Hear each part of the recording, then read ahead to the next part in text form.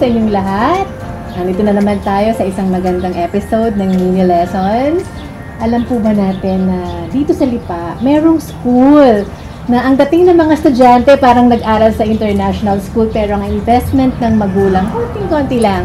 Kaya naman pag-uusapan natin yan ngayon ng aming guest, si Ma'am Jean Del Mundo Corianov. Yes. ang head, school head ng APEC. Yes. Good afternoon. Good afternoon, ma'am.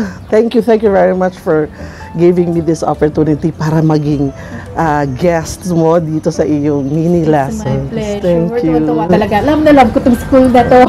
Naku, salamat, ma'am. Salamat. Well, it's our first year ng anak ko dito and uh, nakita ko talaga yung improvement ng anak ko. So sabi ko nga, ah, sa sobrang tuwa ako, magpi-pay forward ako and help promote this school at marami naman sanang mag-benefit, hindi lang katulad namin. Yes, Diba, yes. Pero ma'am, bago ang lahat, ano nga ba ibig sabihin ng APEC? APEC, yeah. Marami po talaga nagtatanong niyan. Ano ba yung APEC? Kasi meron tayong mga kaparehas na acronym, but this is really Affordable Private Education Center.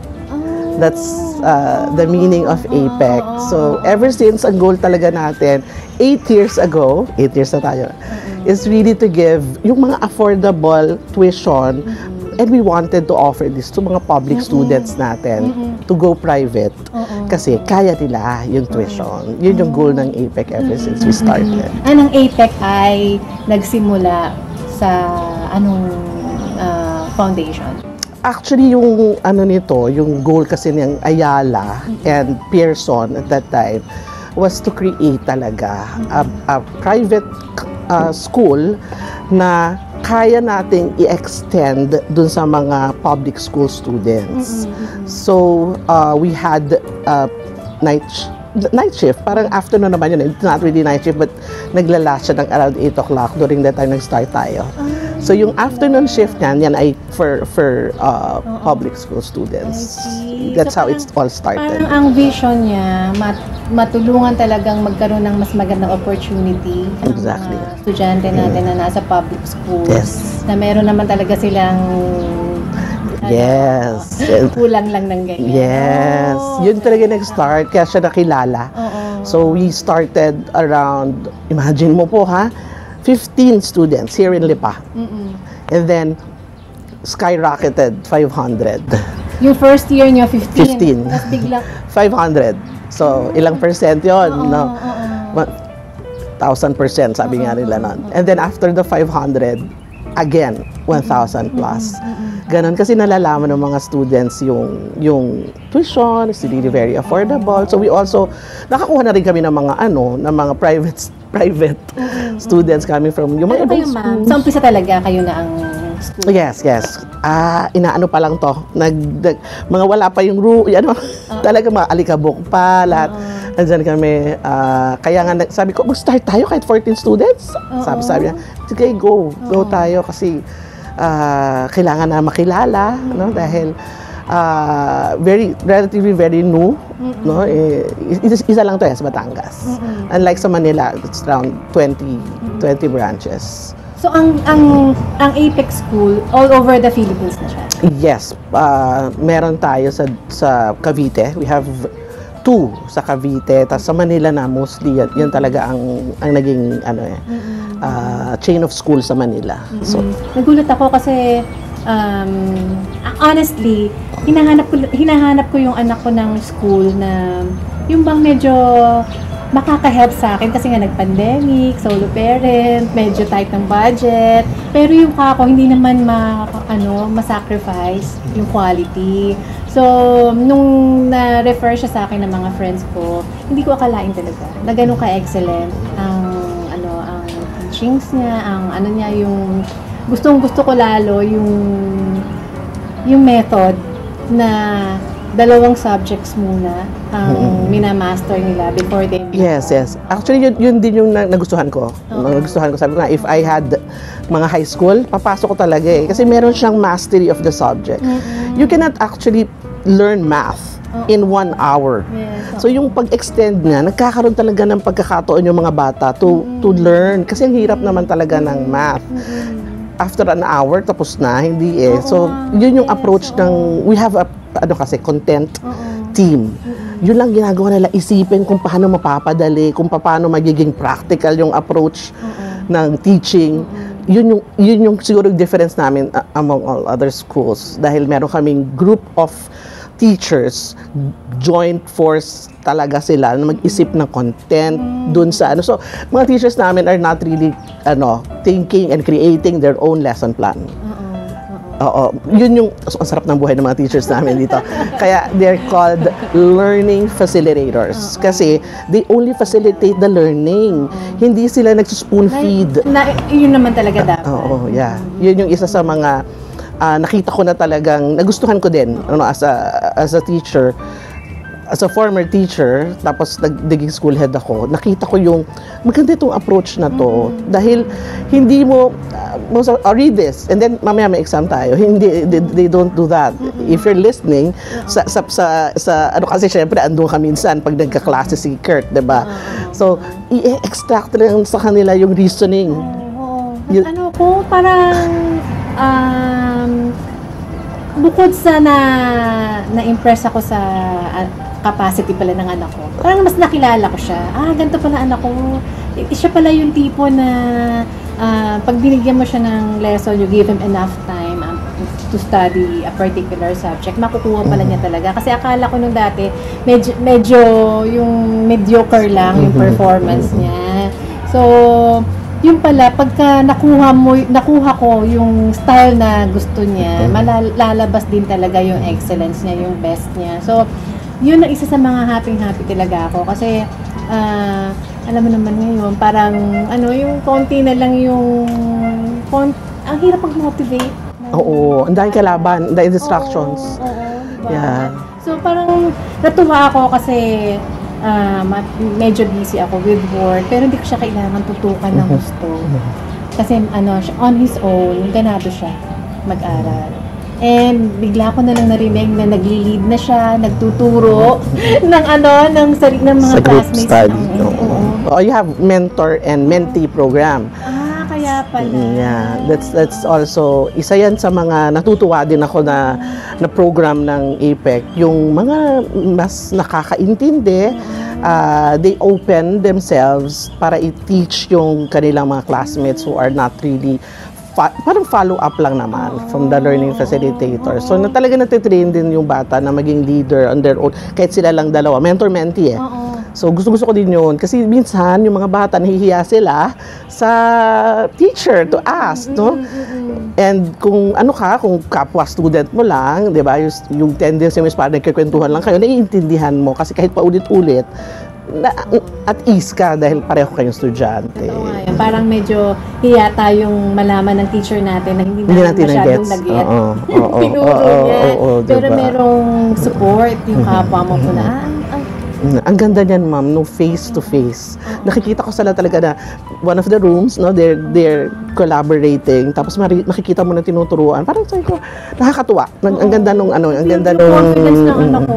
Kasi, ano eh, um, before that, well, guilty naman ako to sa minsan, ano, yung pagka yung tingin mo, ang anak mo may ilalabas pa, medyo na push mo ng, ano eh, ng gusto. So, minsan, I would kid him na, anak, ano, ah, hindi hindi pa yan ang best mo, hindi pa yan ganyan. Ma, ma Kaya pa.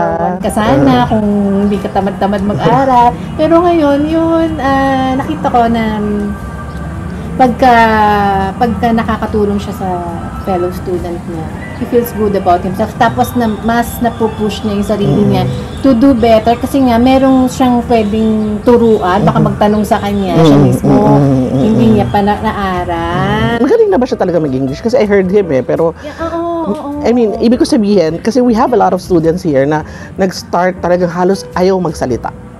As in, hindi makapagsalita. When I was, kasi during that time, nung pre-pandemic, nag interview Actually, ma'am, medyo medyo concerned ko 'yan nung unang pasok namin kasi Talaga?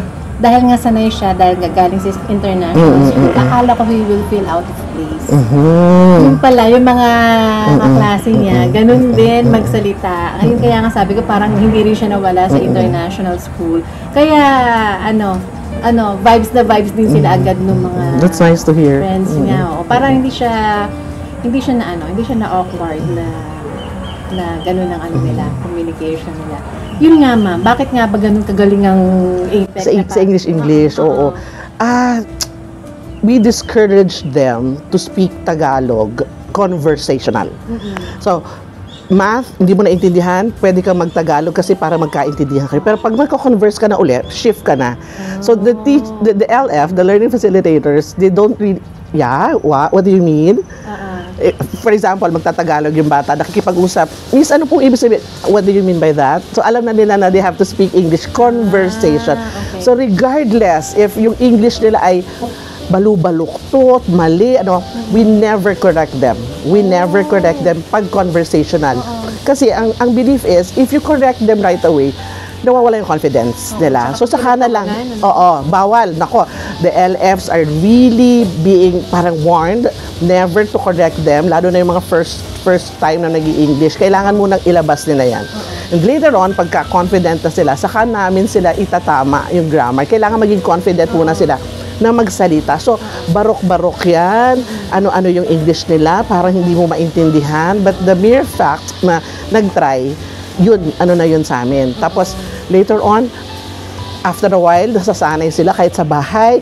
Minsan, sa sa jeep, natatawa ako, may nakasabay ako na, na parang nag-uusap sila in English. I don't know if they noticed me, no? pero parang nagiging second language talaga nila yon And yun siguro yung gustong gusto ko talaga na ano, ma-achieve. curious lang ako. Paano ka sila sa bahay?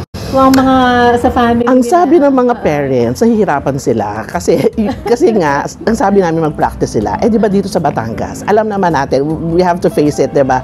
Ayaw na ayaw masyado mag english ng mga mga mom at daddy nan sa bahay. Ano ga ganyan ganyan, 'di ba? So sabi ko, kailangan pag may parent meeting, kailangan po natin silang kausapin din ng English. Alam naman natin mag-English, ayaw lang natin. So once in a while, kailangan natin silang i ano encourage by by speaking to them also in English. Oo. Pero kasi ma'am, di ba, ano yun eh, very important kasi ang labanan natin ngayon hindi hindi na lang ano eh hindi na lang yung mag-apply ka after school sa isang company Yes. kundi global na eh pwedeng Mm-mm. abroad na agad Yes. yung pag-apply mo eh no? Opo. Kaya i- it's important, paano ka, ma- kahit anong galing mo, kahit na ang tataas ng grades mo, kung hindi ka maka-converse, kung hindi ka maka-communicate, paano ka matatanggap sa interview? It's really important muna. Kaya yun ang amin basic. Basic sa amin yung matuto kang makipag-usap ng English. Yun talaga ang umpisahan namin. And ah, fortunately, natutuwa ako sa mga feedback eh. Nandun sila ngayon sa ano, nasa nasa iba't ibang schools and then sabihin, ang galing mag-present, ang galing magsalita ng mga graduates natin pag nagpunta sa college, sa Lister.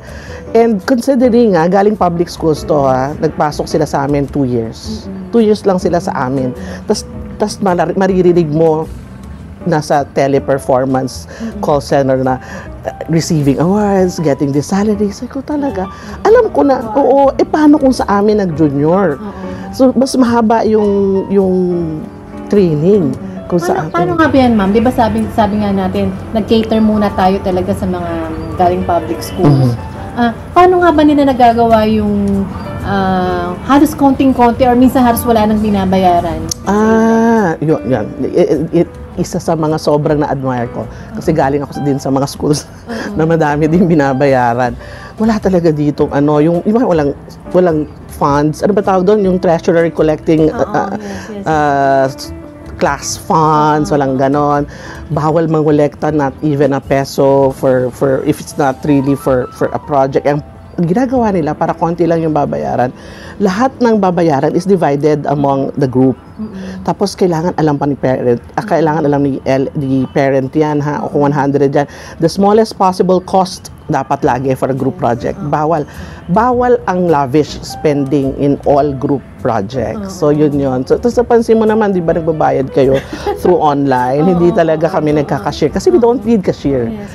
Oh, ito yung school na walang cashier. Ang, ang very affordable na nga yung tuition nyo, nakakakuha pa rin ng subsidy, di ba? Yes, Sila yes, from yes, gov- yes, The yes. government. Yeah. Kaya nga, sabi ko, ang konti-konti na lang ng investment. Oo. Sila Mm-mm. Sa, pag-aaral. Yun na lang mga uniforms, book, Yes, book. uniform. Wala tayong books. Ah, oo, Wala tayong books. ano. Oo, walang books kasi nasa learning management system natin. Nakapasok lahat yan dyan, dyan. Tapos e-books, we use e-books. Kasi yun din yung yun din yung belief natin sana na um, another expense kasi yung ano yung yung physical uh, physical books as of the moment and we wanted to support the parents talaga na medyo kulang uh, so we try to give them yung access na lang sa e-books. Ang ganda ng vision, ano? Parang hindi na yung common perception na pagka galing ka sa public school, Mm-mm. ano, medyo medyo disadvantage ka na agad sa mga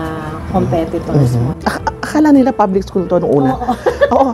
Bina mga nagtanong sa akin, di ba public school yan? Kasi ang yung tuition, ay hindi po. Yung morning session po natin, nung time na yun, no, pre-pandemic, yung morning session po natin for, for private. Tapos yung afternoon session namin nung on time na yon yun yung, yung galing public. Kasi nga, sinasubsidize nung morning se- So, pag ikaw student dito, nakakatulong ka talaga. Kasi parang Oh, subsidy mo yun. Oo, subsidy mo yung tuition mo, nasa-subsidize mo yung afternoon. Kaya nakakabigay ka rin. Kaya nakakabigay tayo ng no tuition. Ah, I see. Pag nag-enroll ka ng anak mo, part of that, nagsasubsidize ka ng ano, ng ng isang public school Estudyante. yeah, para makapasok. I see. So, anong ratio natin yan, ma'am? Ngayon, sa ngayon?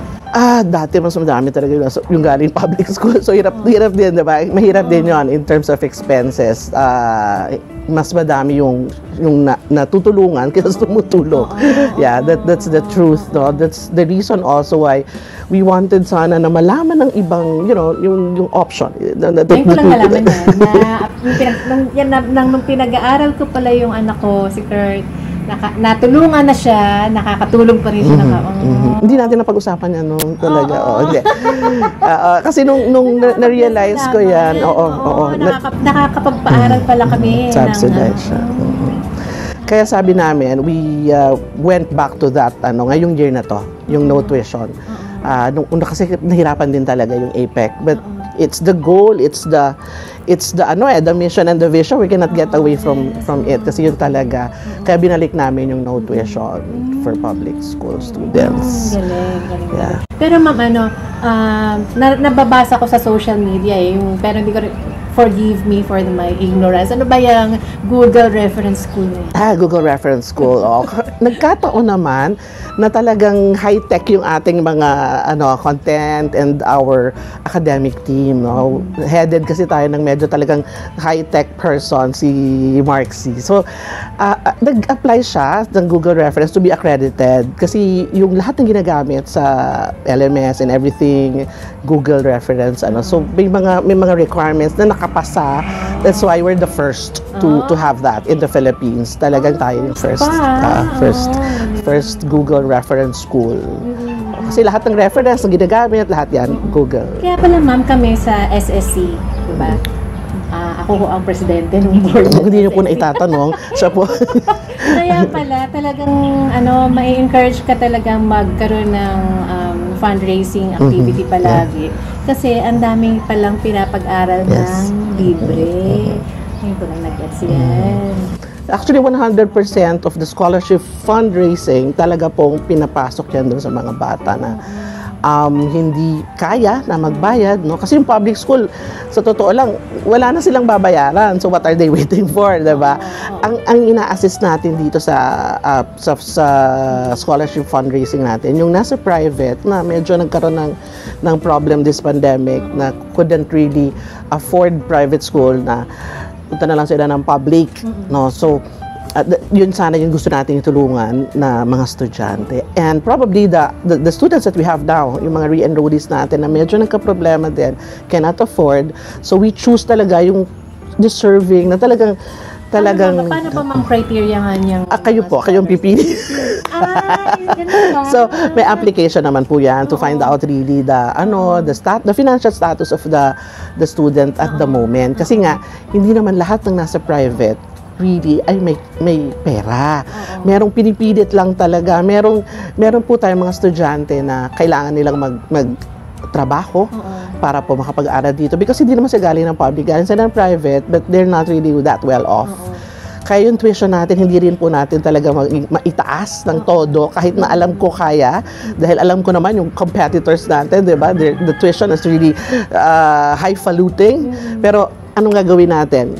Lalaban namin, hindi pa po pwedeng, itaas kasi yung mixed ang ating um, students here in APEC. So, so far, ma'am, anong, anong, um, kamusta yung ating mga senior high graduates? Anong laban nila pagka nag-apply na ng sa mga ibang colleges? Yes, yes. Uh, Proud talaga kami dyan. Kasi ang training nila ng s- two years, whatever whatever strand they will get, no, meron tayong UMS, bagong-bago yan, kaka-approve lang natin. Uh, one of the first Apex schools ang Lipa na na-approve yung UMS. And then, um, meron tayong ABM and also STEM. So, ang modesty aside, modesty aside, talagang um, kahit graduate sila ng senior high school pa lang, nakakapag-work na talaga sila. So, meron kasi tayo na parang style na ginagawa sa mga batang yan na nag interview na sila dito sa atin. Uh, we have a subject, I, I, I- I think it's personal development, one of the subjects na talagang hinahasa sila to, to undergo personal interview mararanasan ni Kurt yan. At talagang uh, to the point na parang akala mo, they're dressed up like that uh, as if in the interview, as if we, we transform the classroom to an office that they would feel the pressure of being interviewed. So, pagdating nila sa, sa, sa work, when they're being interviewed, what? That's the second, third time na nila ginawa yun. So, yung Oo confidence oo. level nila, na, nakita nagiging at ease na sila. naka-coat and tie pero naka-shorts. Yan yung mga pandemic. Madalas ganun din ako. Don't mind me. Ah, they were required to, ano, one of the Oo, nakita ko subjects. siya. yun. Ah, Minsan, minsan ako na, na, na nosebleed na rin ako sa anak ko. Ako pa tinuturuan sa stocks, sa mga mga investment, mga ano siya. Yung mga hindi ko akalain na maiintindihan ng iintindihan na niya at, at such a young age. Mm-mm. Ako, Na nalaman natin. Oo. Ito na lang, di ba? Yun, oo.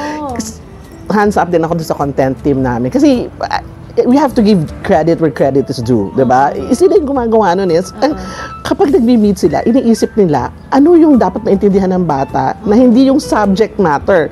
Stock. So, ano, anong, anong relation ng stock sa bu- buhay nila?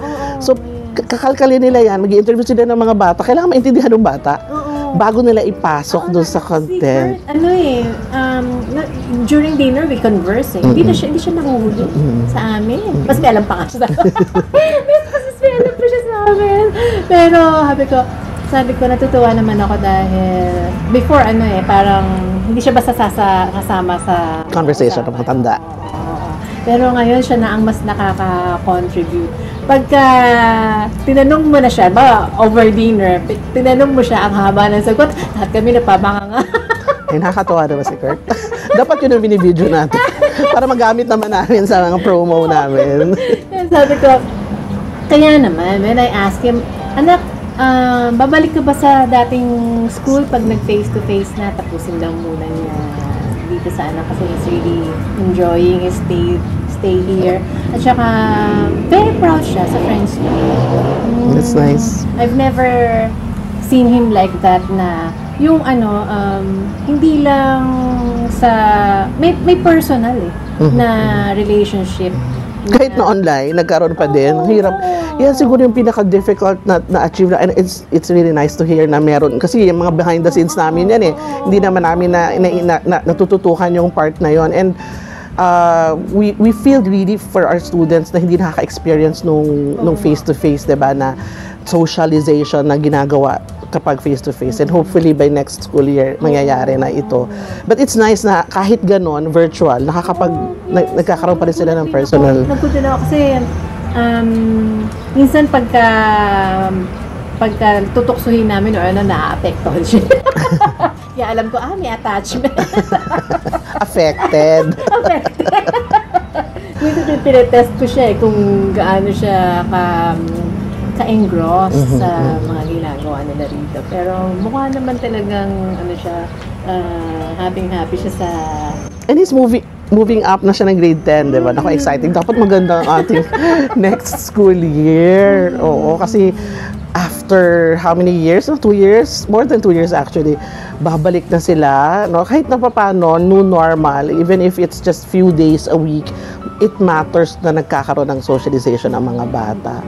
Tapos mag, magkakaroon na ulit tayo ng moving up, yung, yung ceremony and all that How- stuff. nga Oh, yun ang ma'am? How are makakalungkot. you preparing for face-to-face? Ah, we are really prepared because there are a lot of requirements from DepEd. So yun yung me- medyo difficult, ano, challenge talaga na kailangan naming ma, ano kasi hindi naman sila papayag na may kulang and all that. So yan, makikita mo yung mga ibang equipment, nagsa-start na kami, kailangan may wash area dyan, pagpasok, wash, kailangan may, oo, required yan yung magwa-wash sila, oo, tapos bukas sabi ko nga, may wash area doon, tapos may alcohol pa ulit on the different area. So, yung... Paano yung mga extra ano na yan? Ay, oo. Kaya medyo magastos kung kung ipapa-approve mo talaga yung school for face-to-face next school year, magsisped ka talaga. Kasi ang dami nilang hininging, ano, marami, maraming equipment idadagdag. Kailangan, ah, hindi kasi i-encourage na magkaroon ng aircon. Eh, Aircon lahat yung rooms namin. So, kailangan yung yung yung win- windows mo may may air para you know things like that. So you have to change din. Ang dami mo rin kailangan i-change.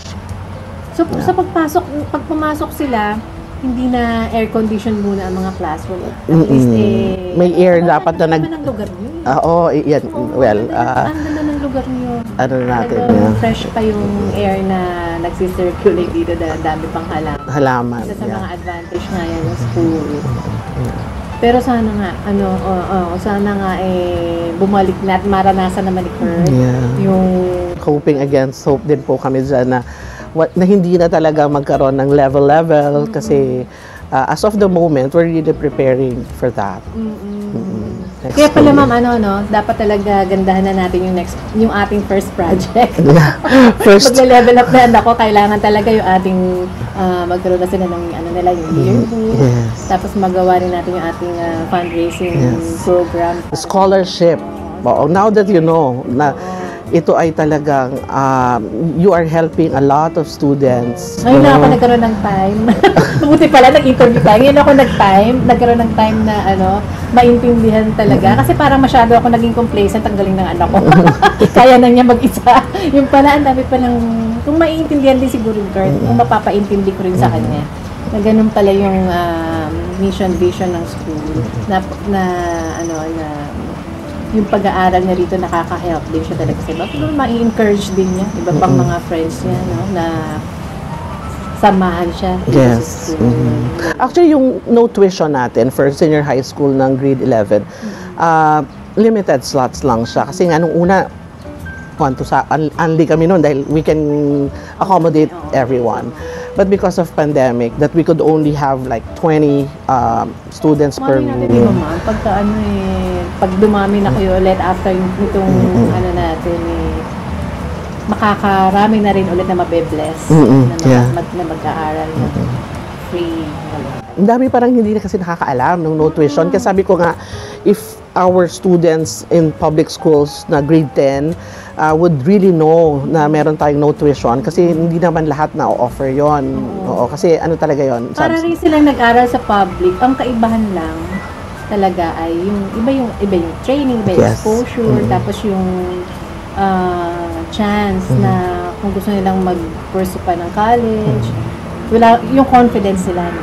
level. Iba talaga yung Apply level. sa Yes, college na yes. gusto nila. Yes. Oo. Kasi yun yung, yung, yung training namin dito is really communication skills. So kung ano yung mga confidence graduates, building. iba saang saang school naka pag Well, we have Ateneo, we have UP, you'll, you'll be surprised, no? We have uh, really students.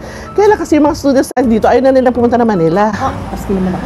Ayaw nila pumunta ng Manila. So, so nasa, dito sa mga big schools din dito, no? So, but nakita ko eh, nakakapasa talaga sila ng UP eh. So, sabi ko, wow, wow so, proud naman kami na uh, yung iba kasi natatakot lang sila mag, mag-enroll, mag-exam. Pero, alam naman namin na kaya nila. At saka yun nga, a lot of our parents, they don't want na, na mag-travel. Siguro going to Los Baños, sana magka-UP pa.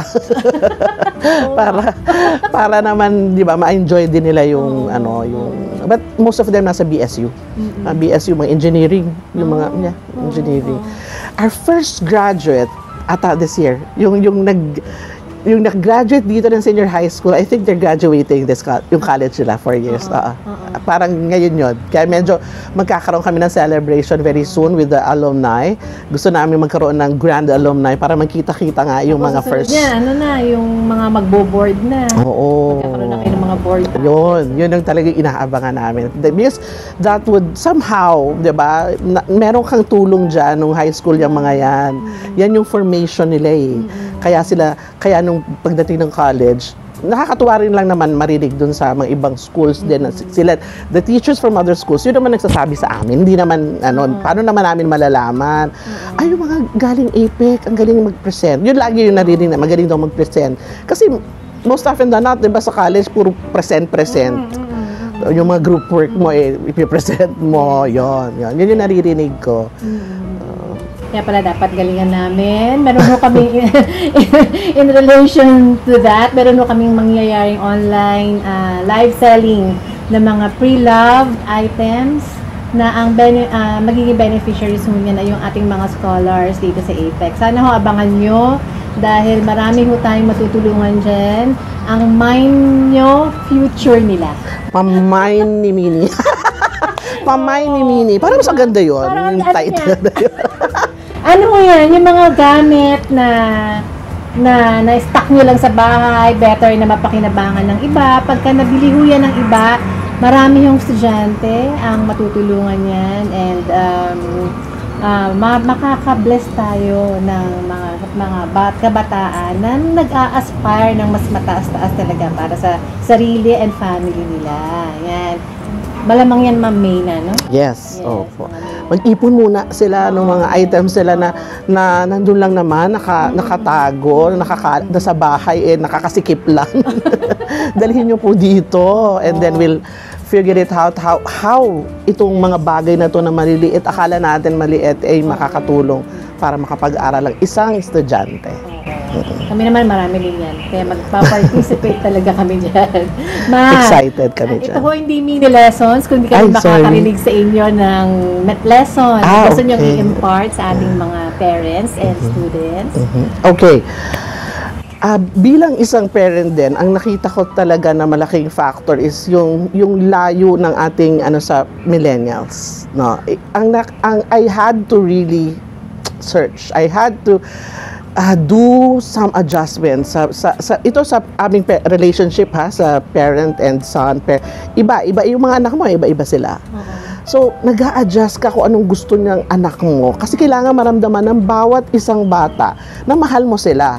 Kasi ang thinking nila, paborito mo yung panganay, paborito mo yung bunso. Pa- they cannot feel that way eh, di ba? So, sa- so kailangan, minsan tinanong ko yung mga anak ko, "Si- sige nga, sinong paborito ko? And then, ako, sabi niya, hindi kaya, ako kaya. Sabi niya, so, sabi ko, I, I think I'm doing the right thing because hindi nila maintindihan kung sinong paborito ko. So, ibig sabihin, each and every member of each each children or each child rather nararamdaman nila na somehow may nakukuha silang pagmamahal kasi hirap naman bilang parent di ba sa totoo lang aminin natin ang hirap talaga i-equal yan pero ang yun ang goal the goal is not to compare the goal is to adjust yes. adjust to each napakahirap po. Kasi wala naman talagang perfect parent.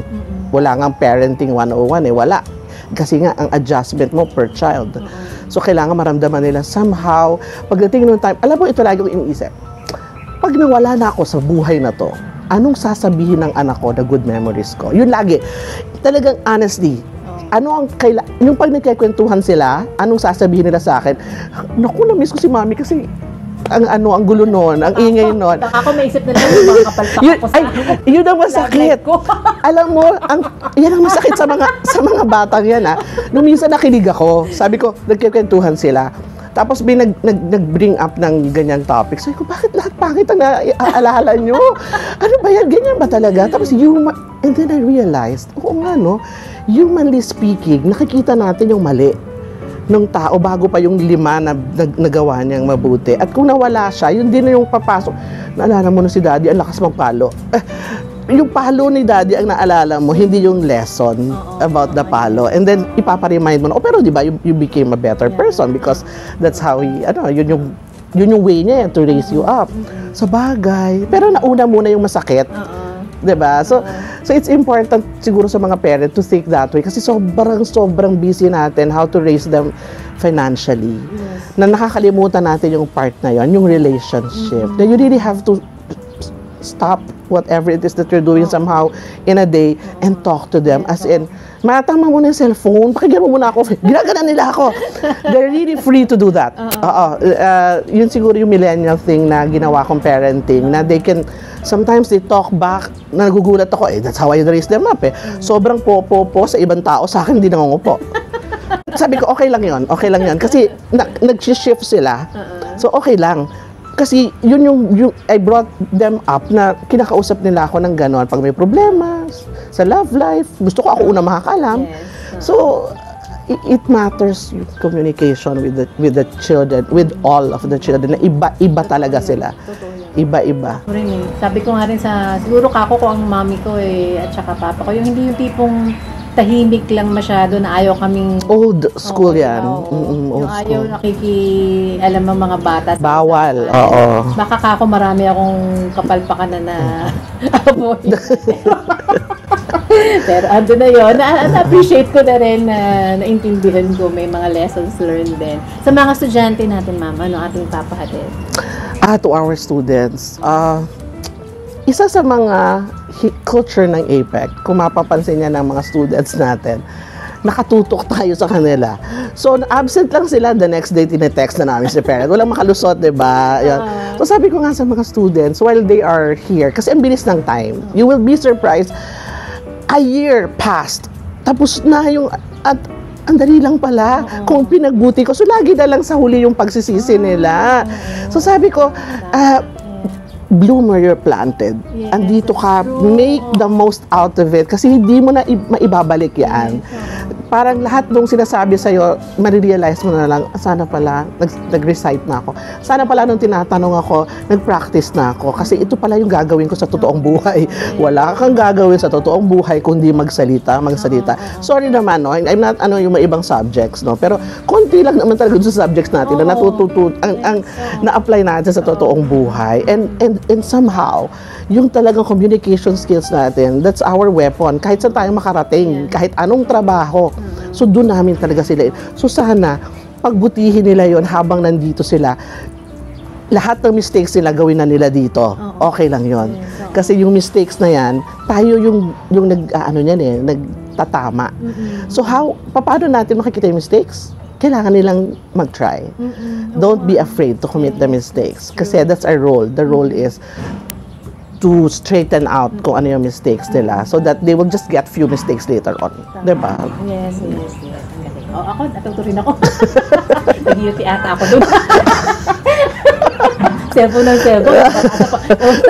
Makarap pa ka anak para cellphone. hindi naman lang tayo. Alam ko naman, hindi lang tayong ganyan. Kasi nga, sabi ko nga sa kanila, kayo din naman ah, di ba? Kaya lang pag sila yung nagsabi sa atin, parang over na nga ata ako pag nanggaling sa kanila, di ba? No? So, meron kaming ano, no cellphone time. Oo. Nagkakaroon kami sometimes, we really drink together.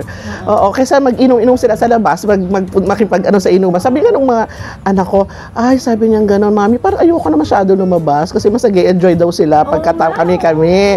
Yun, di ba? Yung mga drinks na, May bonding time lang. Oo, banding. Oo. Mag, mag-ano sila ng movie sa bahay, sabay-sabay doon. Tapos pag, pag napansin na na nagsa-cellphone na, sabihin niya, akin, akin na mga cellphone. Nagigising ulit. Okay, back to ano, banding. Kaya mas, minsan mas maganda pag walang, pag nawalan ng power. Alam mo naman ang battle, eh. sorry na, pero mas, so pag walang, walang power, nakakapag-usap kami. Wala kaming choice. Mag, ano kami, what's that? Yung uh, games, mga board games. Yun ang ano, sabi, sabi ko, let's just make the most out of it. Ay, minsan kasi nangyayari, tara punta tayo somewhere to na may power para lang what? Para lang makapag, ano, so sabi ni daddy, hindi. Hindi tayo aalis dito. Mag-board games tayo and let's, ano, let's uh, Ganun pala, bond. pagka ang, ah, may kasama teacher sa bahay. Laging may lesson. lessons. Pero nakakahiya kasi yun, yung hindi ko talaga nagagawa yung mga pinagsasabi ko, di ba? Sasabihin ng mga anak ko, ay, si mami, ang daming sinasabi, hindi naman nagagawa. Kasi nga, grown, grown up na sila. Oo. Yun yung challenge ng maraming teachers, di ba? Nangyari yun sa akin when I was teaching.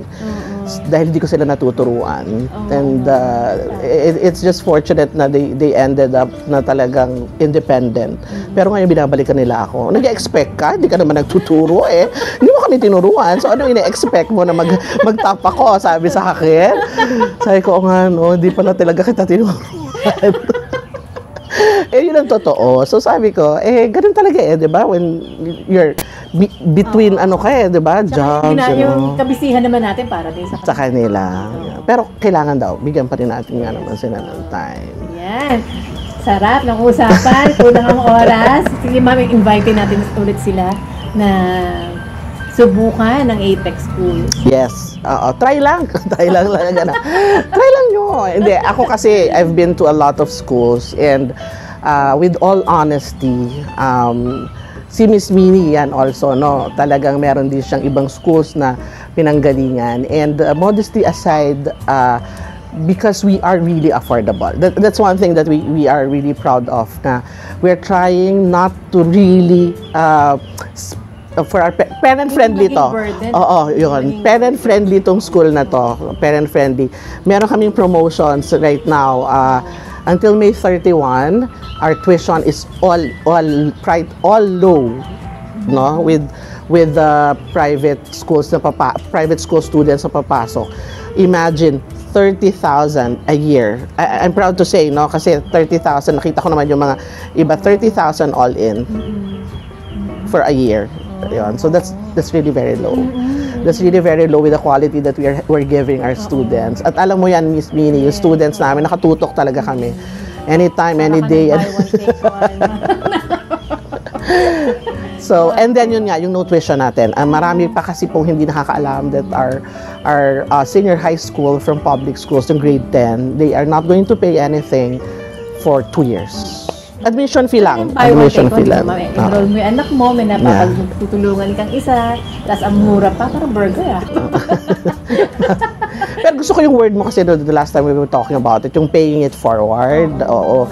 So, yun yung sana, yung, yung for, for students and parents or who would be able to watch us, sana makwento man lang nila Yes. para magkaroon din ng blessing yung iba na to be part of uh, Na our hindi school. masayang yung ganong opportunity, no? Na meron palang ganitong school na very affordable pero para nyo na hungang pinag-aral sa international school ang mga anak nyo. Ayan. Ma'am, thank you so much. Thank you, For, thank you. Ang dami ko natutunan The pleasure is mine. Really. Kaya, ah, I hope matagal pa talaga ang ating samahan dito sa IPEC. Okay? Maraming salamat ho sa ating mga friends ng Mini Lesson. See you again. Bye.